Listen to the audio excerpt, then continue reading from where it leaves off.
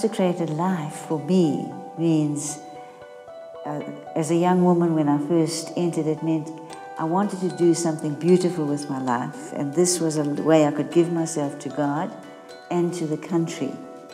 Because consecration to God also means consecration to the world. That my life is lived out um, as a gift received and a gift given to the world for, the, for, for goodness, for beauty, for truth, for love. We are all called, but those who become consecrated are the ones who take the three vows vow of poverty, of obedience, and chastity. Those three vows. So it means not necessarily that we are destitute. We are not destitute. People look at us and say, but you have, you know, you have a meal, you have a car. But they don't realize that these things are for the common use.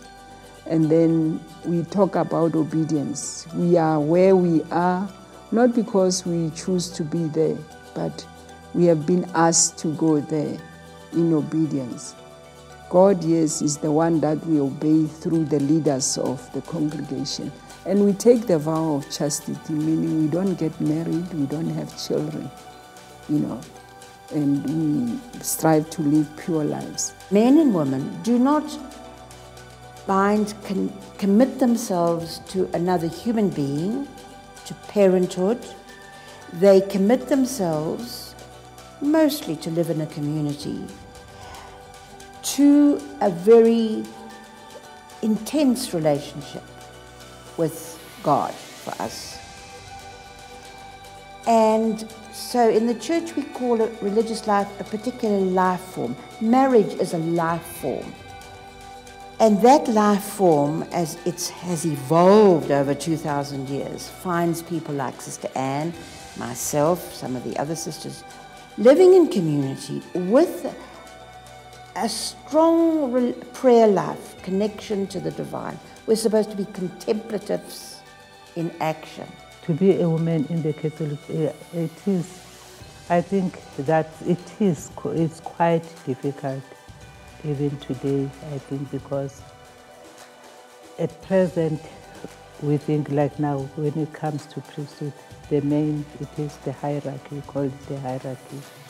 So it's mostly their men, it's Pope, cardinals and all and all. But the women, like now, even with the sisters, I would say, in the church, it, it, it is difficult, really. The role of a woman in the church is not yet what we hope it should be. We don't need to do the same thing that the priests are doing. We have our own place, our own space, and we have much more to do in the communities. Being a woman, I think we are more close to the people than a man. Uh, if you go into the house, if you go into a building, you want to meet the people as a woman, you do much easier than a man. And I think we are much more close to those people really are in need from different communities. There are days that priest cannot go here or that he has to say mass, he has his own responsibilities to also to do, but not for us not depending on them, we can do much more. Women are generally still trying to get to the position where they have equal rights, or not equal rights, but equal entry into various levels of society. And I'd say in, the church, I don't, yes, sisters have a voice, but they could have a better voice, I think. And they have a lot to say, and they're very well informed, and I think they should be maybe given more freedom to do what they want to do, how they want to do. We're all very different. The only thing we have in common, the only thing I have in common with any other sister is that she is trying to follow God's call. The difference isn't to be endured, it's a gift that enriches me, it helps me. And God speaks through that diversity, calls something out of me. We are one and for one purpose. God created us for one, one reason. We, have, we are here for a reason, all of us. So we are to take our missions and be responsible. Even when he talks about the, the religious, we, are, we may have different charisms, but we are one for one mission, following one Christ.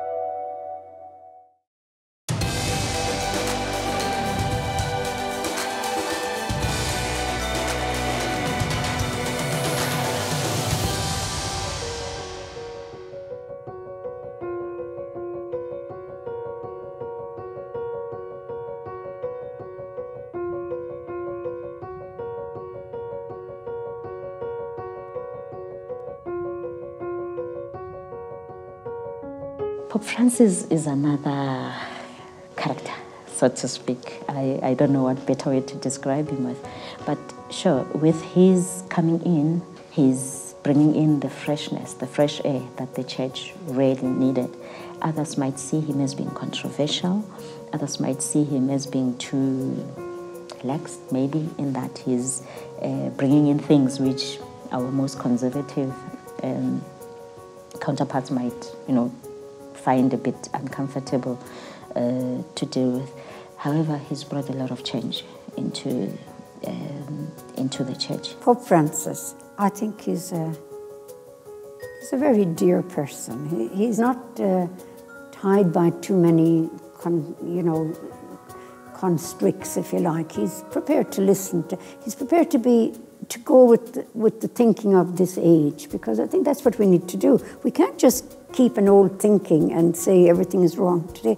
Just go with it and see how to to uh, help it to develop to its capa best capacity. Pope Francis meant uh, looking at what the work the missionaries have done.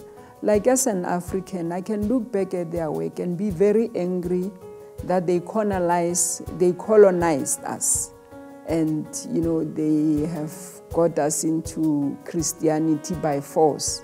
And sometimes some of the things that they are doing are not Christian, really.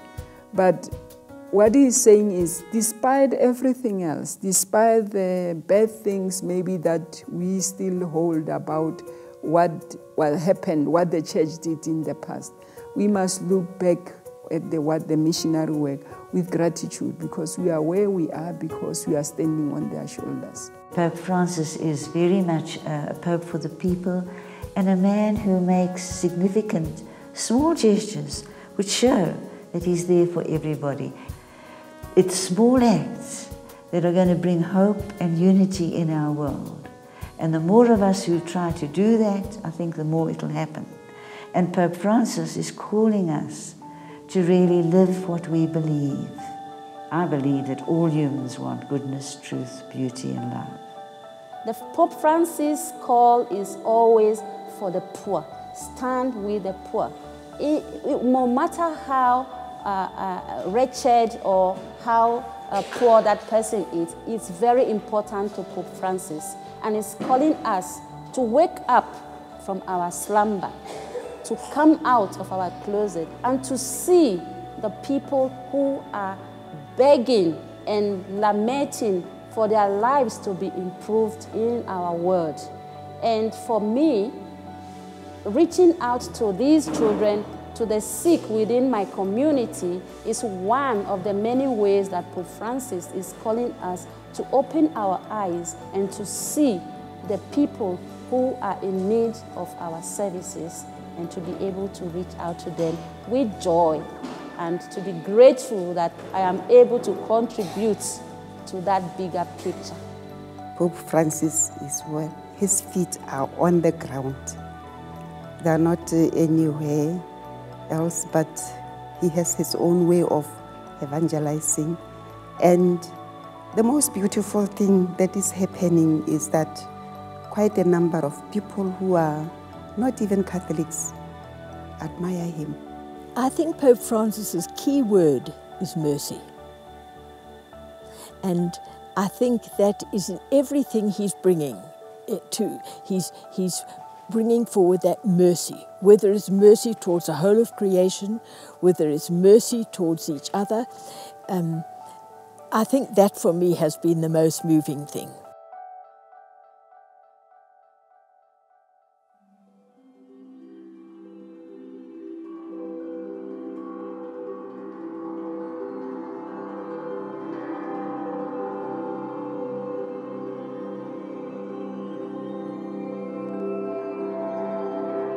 We are called by God, sent uh, by God to through the world, but in especially places where we have migrants, refugees, returnees, people on the move. So we work more in, in those areas where there is a lot of vulnerability that needs our help. They are there to welcome. Everybody that works for the mission welcomes the most vulnerable people, women and children who arrive with nothing, sometimes just a plastic bag. Um, they've had nowhere to sleep. They've had no food for days. The children often come sick. And to welcome somebody with open arms, that, that is what Bienvenue Shelter is about. I'm from Congo, DRC. I arrived to South Africa in 2002. I was so miserable. I see a big town where I know no one. I have no food, no place to go, and I was having a little baby. Then I came here. Our criteria normally is up to a three month period. People who have come from war torn countries, victims of torture, they're never going to be okay after three months. It might just take them three months to actually get to trust, to build up that relationship with someone. Um, more of our longer term cases are those torture cases, and they can be with us up to a year. Uh, there's lots of different challenges for these mothers. Uh, one of them is the legal side. Uh, the other one is a place to stay, accommodation. Obviously, a mother with a child that knocks in our door, the luggage is two or three children behind them. When I was out there, I didn't have anyone, no one to turn to. But when I came here, I really feel the welcome. Yeah, this is a home. Even if I have to leave, still it will be a home, I can still come back. It's not easy in a different country, in a strange country. They can't even speak their own language.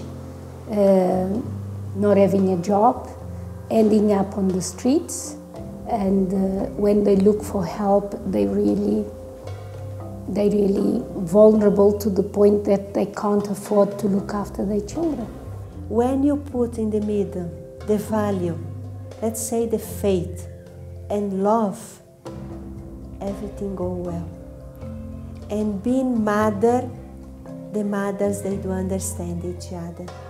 Sometimes not talking the same language, not expressing the same faith, but they do.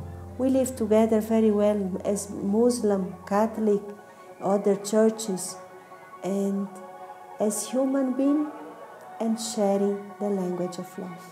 I need you to print out other one again, all right? So that you have everything. When the client is coming to you, you must know that I must give her exactly what she wants. Today we're going to do chocolate chunks cookies, ne? We need our chocolate chunks, they're on the table. We need eggs, each person will take two So the eggs. training courses are a three month course. After they've completed, um, they'll graduate and uh, if funding is available, they will each receive a starter kit in order for them then to be self-sustainable, to be out there. I think the skills uh, that we're teaching them, it's the hope for a mother. They can, maybe they can't have a job that's going to give them a salary at the end of the month and they can just relax. But at the same time that they look after their children in their own environment. They can do, if they take a course of baking, they can do the baking at home, they can go out and sell, and obviously that's going to contribute for them to be able to feed their family, their children. In the shelter, I'm almost a year. By the time I came, I was pregnant. I gave birth. My daughter is now seven months and she's in the baby room. I learned how to bake and now I'm exercising myself in the baking. I'm baking and going out to sell. I come from Zimbabwe. I came because I just wanted to survive because of the economy. And then one day I met Joe, Joseph. We talked, he's a very kind man. He told me about the shelter. So I went there 2015. That's when I learned how to sew. Thanks to the shelter, they provided me with a small machine. That's how I started. My kids, I had left them back there, but they can afford to go to school. I'm sending them money, I'm paying their school fees. Uh, they know mommy's in Joburg, surviving somehow, but it's an honest living that I'm getting. And I got it from Bienvenue Shelter. If they do the other courses, as we offering sewing, beauty, baking, hairdressing, it's all courses where the woman can do it in their own time.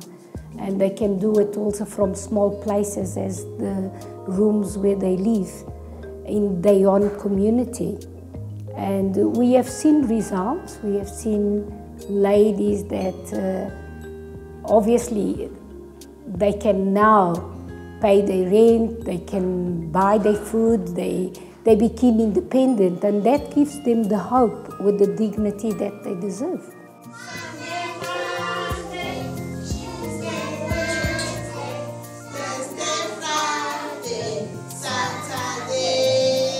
If we're trying to train the ladies, if the ladies have to go regularly to Home Affairs uh, to re renew the documentation, if they have to go to clinics to this, if they have to learn English, the children need a place as well, a place of uh, somewhere safe where um, the mamas know that they're well looked after.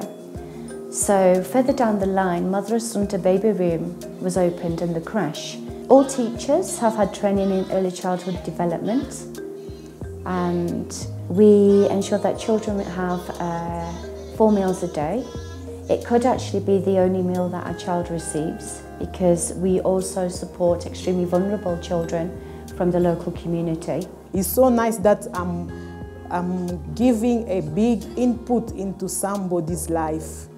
I'm giving a big input in the children's life and in the mother's life. I'm the person who is making it possible for them to find something in life, then I'm participating to, to their kind of survival. I'm, I'm so happy.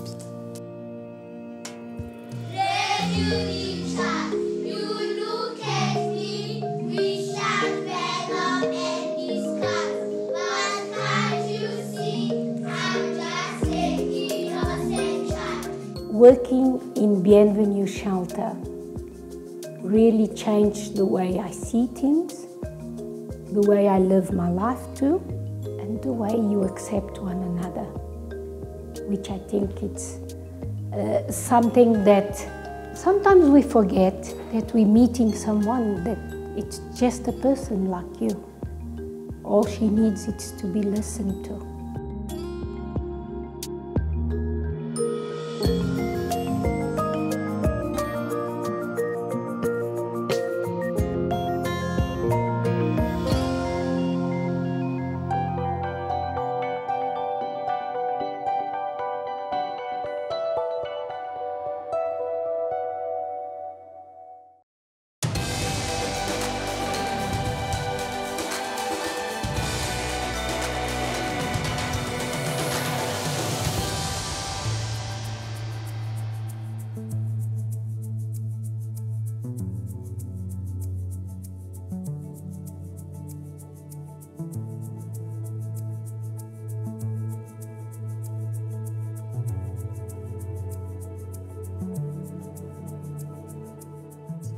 Founded by two very different women, Julie Billiart, and then this rich aristocratic lady, Françoise Blin de Bourdon.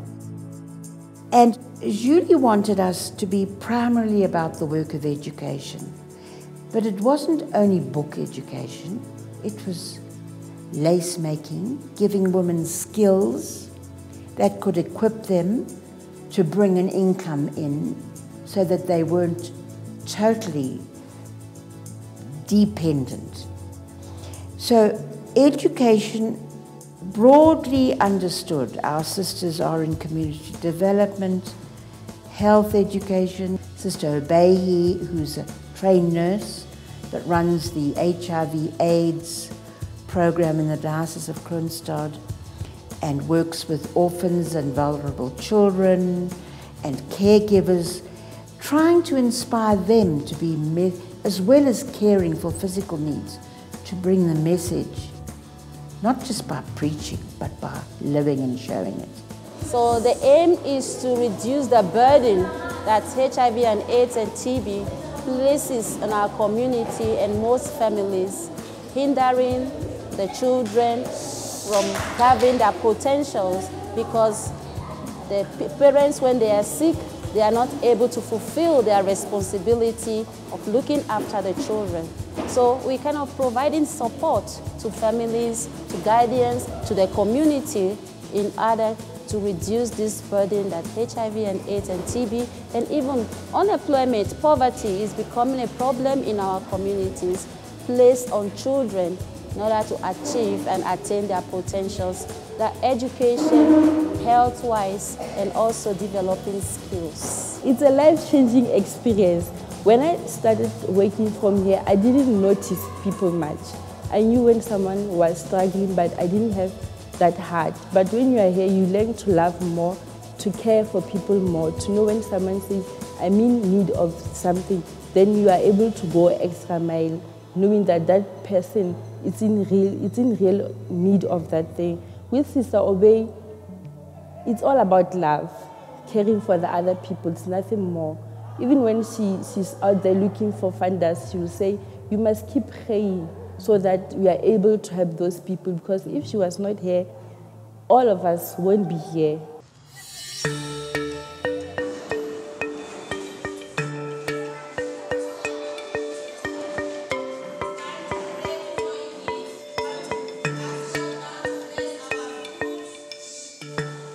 This is one of 22 centers across the diocese. They come after school, they come to do their homework, then having time to play. We offer support to their families as well.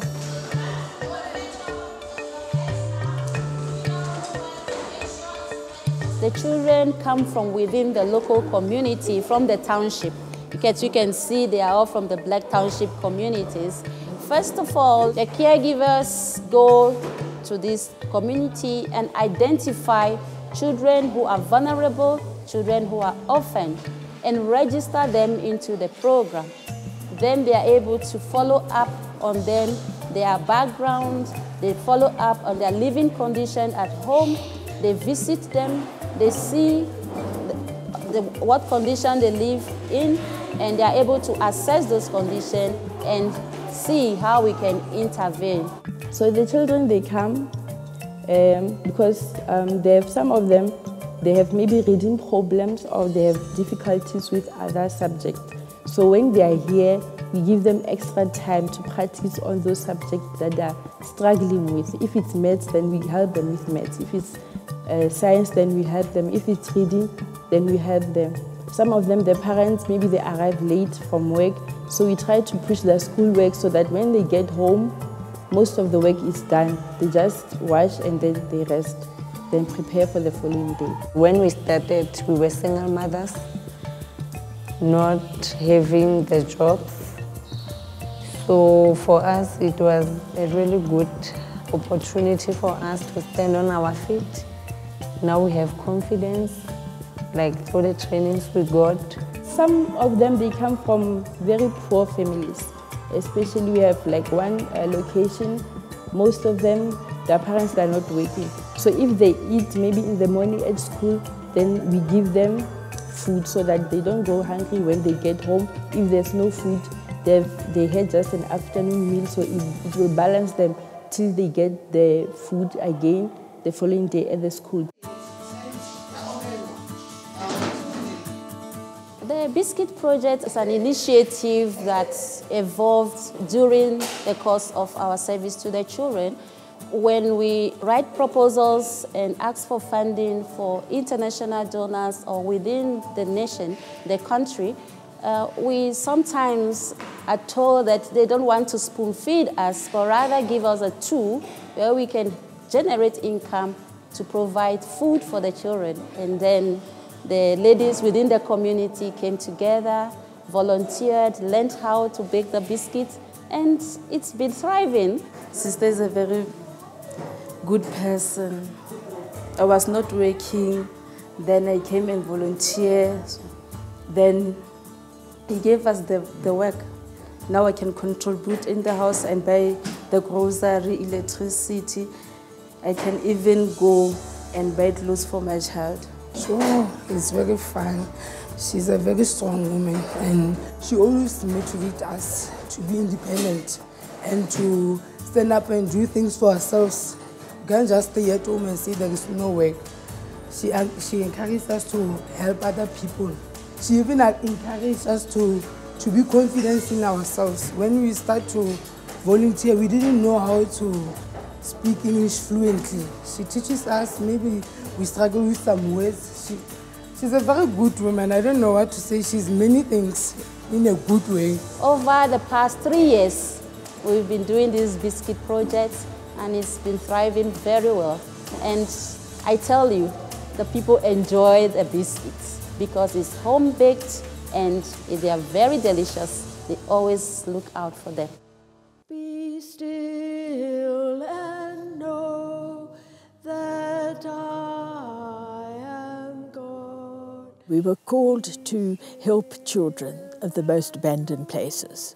And the major thing, which is in our St. Peter thing, is that we spread the message of God's goodness, that God is good and we see the goodness in each other. We offer that goodness and we encourage the children to see the goodness in each other and to recognize the goodness and God's goodness through that. The school is over 100 years old. I've always felt that if you walk into the school, you, you must feel it's different. And I think that the fact that they live God's goodness on a daily basis, uh, you see that in everything they do. Um, that's what we are trying to, to teach our learners to um, make them see that it's uh, uh, we should care for the less fortunate. We should care about others. Um, we should love everyone. Uh, we don't have to always agree, but we, if we disagree, we do it in a manner of, of respect and, and with love. My role here is, first of all, the presence of, of a sister of Notre Dame to ensure that our ethos is, is followed and also to give assistance to our children and to the parents. Many of them come from very difficult circumstances. Many of the children don't come from, shall I say, normal homes with a father and a mother. Many of them are brought up by um, other relatives like a grandparent or aunt. Well, the Sisters of Notre Dame influenced me very strong and positively because they encourage us to do the best always and they don't just teach us about school things or something. They also teach us about life in general.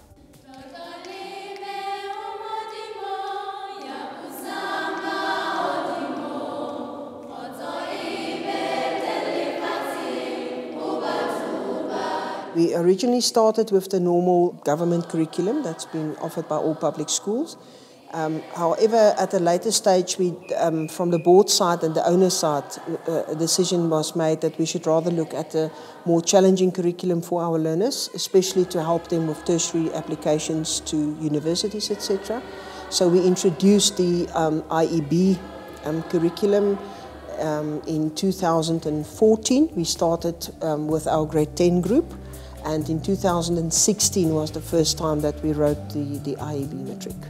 Many fall down and break apart because of pain. The pain we get from our mistakes. We do not realize this, but we are in a chain. A chain that will make us change. Become new people, enter in a new stage. Many will lose, some will gain. Believe, young person, that you'll be great. There will be better days. I hope you remember these words and have faith. I hope you'll acknowledge my words and pray.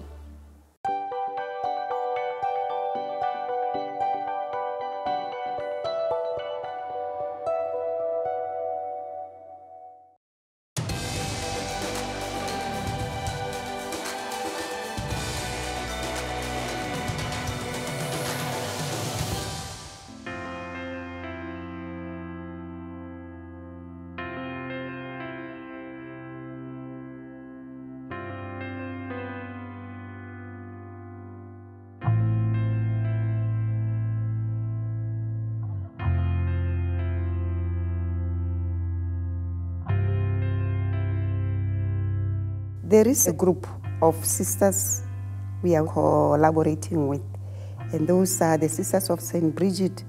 They wear green. And the Sisters of the Companions of St. Angela. They wear black and white. And the Sisters of Calvary. So we call ourselves ABC Angela, Brigid, and Calvary. We work closely with each other. We are a congregation of diocesan right, we, we, are, we say, which was founded in 1958 and is called the Congregation of the Sisters of St. Brigid.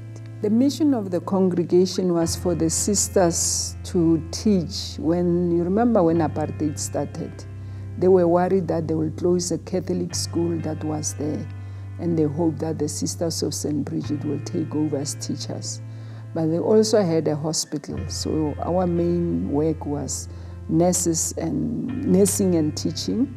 And then later we had pastoral work. And then we have social because now I work as a psychologist, not as a teacher. So we, we got it to be also social um, teachings and social work. The Companions of St. Angela is a religious con uh, congregation of diocesan right that was founded by Archbishop Patrick Whelan, who was an oblate. And the reason for him founding us was that um, it was during the Group Areas Act. You remember the apartheid era? Um, he felt that, or he, from what was happening around the country, there was this whole concern that was coming up that um, white sisters might not be able to enter the townships anymore because they were the ones rendering the services within the township at that time. So the bishop felt mm, there might be a need to have African sisters who would minister to their own sisters. And that's how we were founded as a congregation. And we might not have that apartheid anymore today, but we find that within our communities, there's this whole scourge of young people and drugs. You find, uh, I don't want to call them broken families, but you find um, young people without, well, I'll call them absent fathers in a way. I work a lot with young people. And this is where it would come out where they would, you know, kind of cry out to their, to, their missing uh, parents. And you see a lot of the challenges that we have in society arising out of um, this whole brokenness that we have uh, within our families. So we might not have apartheid, but we have a different kind of um, social ill that's eating away at our society, which still makes the Companions of St. Angela uh, relevant to our day and time. I'll give you the example of what we have been doing recently with the help of the Sisters of Botswana. They came out, we invited them to come out, and they gave me four young sisters. And we said we are planting the seed for vocations. We are not promoting vocations per se, but we are planting the seed. When we went to one school, and I said to them, uh, because the time wasn't enough, and I said to them, okay, I'm taking the reading from uh, the Exodus, the call of Moses. And the question I asked them was, what does taking off your shoes mean? And they said to me, it's respect. And because of the way even they were, then I said, then you are holy ground. You know, that's what uh, holy ground symbolizes. You are the holy ground. So if anybody wants to put you into drugs or make you do something that's not right, you can say, take off your shoes, meaning respect me. We are trying to get into families to see how we can help uh, the young people in the families because we believe that these young people are the ones who are going to be leaders of tomorrow, leaders of the society, people who are going to be priests and sisters, and we are working together with parents how to try to mold our children. And that as I was talking about drugs, it's something that we are we don't know where to start at the moment, but it's something which is really destroying our young people. We are talking about it. I hope it won't take long because if it takes long, if the discussion takes long, we will lose a lot of young people.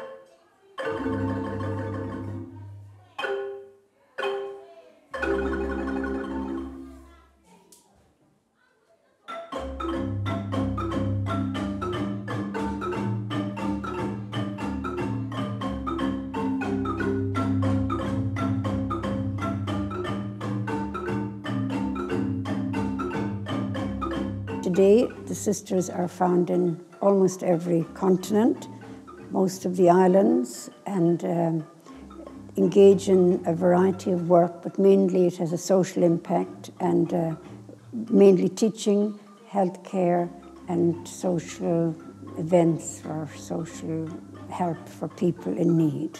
The sisters initially came to Mafeking, Mahikeng as we pronounce it, uh, in 18 uh, 97.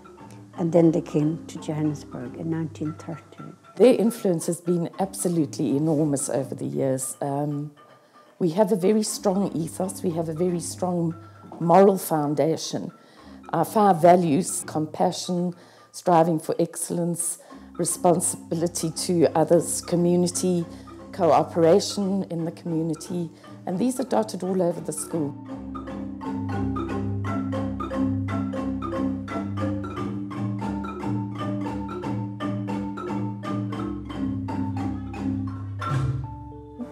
Catholic school and an independent school, um, diversity is nothing new.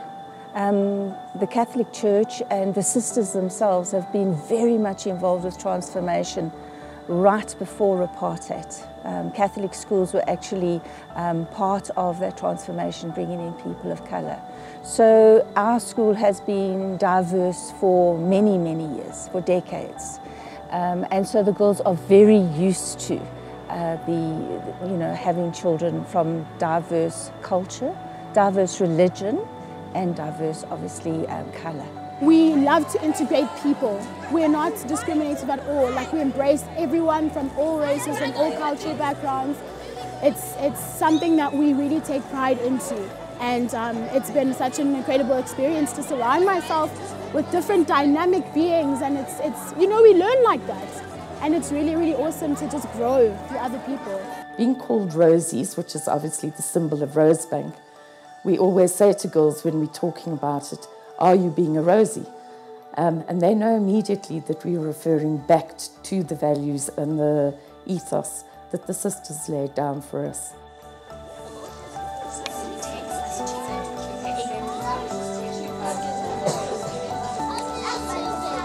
In 2015, one of the staff members um, was keen to start with a new project We knew we wanted to do a Saturday school, and being in education, it just made sense for us also to do that.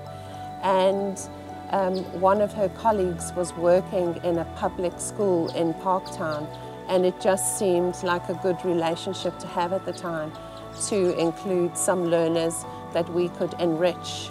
One thing that people struggle with today is not knowing where to go to give back to community service. Um, so the fact that we've brought it into the school really provides girls with the ideal opportunity to give back and to do as much as they possibly can. One of the big things about St. Teresa's is helping girls specifically with education. So just the idea of helping girls to learn, helping girls go further in the world because of the education they have has been really big for me. And knowing that I'm helping people, helping these wonderful kids just have a better chance, it's, it's amazing. You can see the progress every single weekend you come here. You teach these girls English, um, math, they are taking these lessons and they're bringing them home, they're applying them to their daily lives. So it makes you feel like you're actually doing something because it's you're truly changing a child's life because they are growing up, growing up in schools where they don't really care because there's so many kids. They can't pay, pay attention to everybody. So now we're going to give them their individual attention, make them make them feel special, and it always makes me feel good.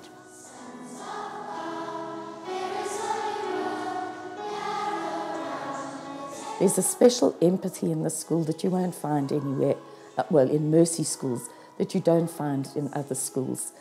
And people say to us when they walk through the gates, there's something different here, but it's not tangible. They can't feel it. And it's, it's that compassion and that love of looking after somebody else and caring for somebody else is what the sisters really, really gave to us.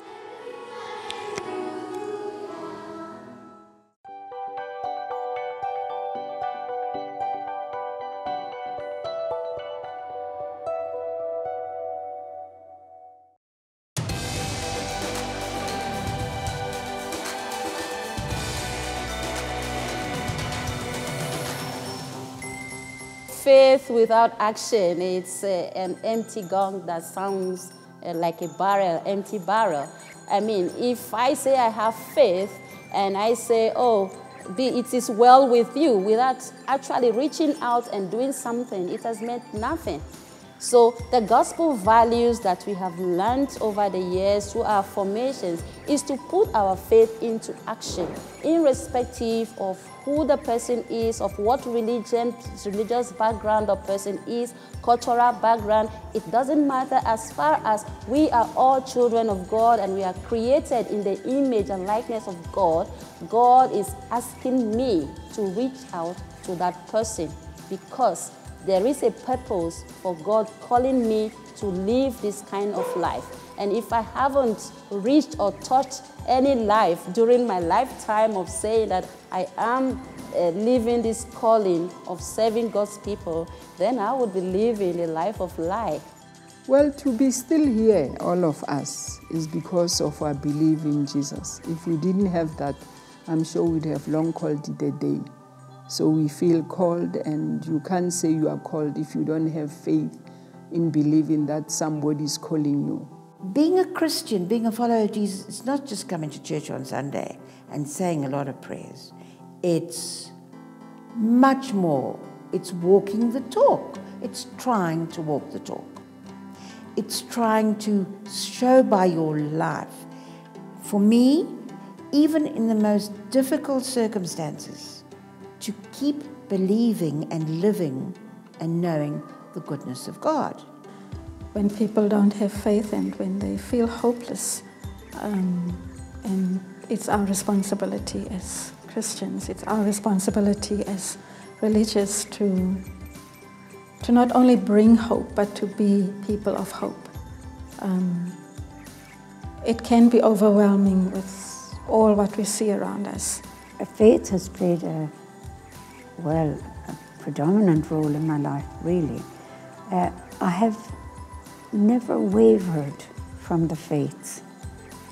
I know what I believe, I know why I believe it, I know on who I am grounded, and I would say every day my faith comes into play.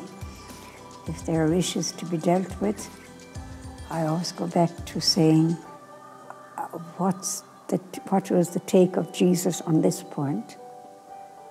And so faith uh, is the ground of my being, really, I would say. The faith give me hope, give me strength to continue. If I have no that faith in my life, uh, easy I can uh,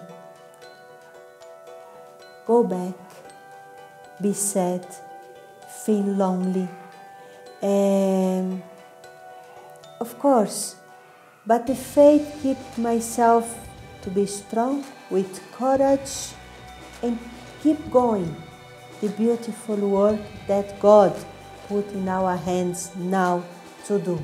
It plays a vital role in my life because when I don't know what to do anymore, I just rely on my faith.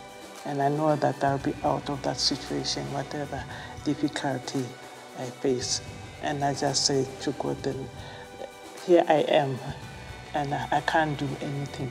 But with you, I rely on your promises, I rely on your word, and I know that the situation will be what you want it to be.